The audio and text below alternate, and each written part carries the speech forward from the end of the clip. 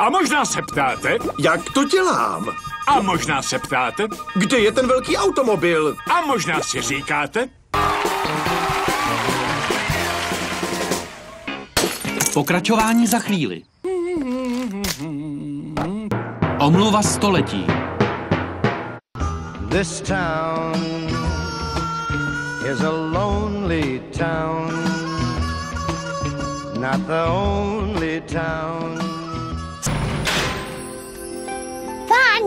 Hydroponické záhonky, organické hnojivo. Možná jsem se v krastem mýlila.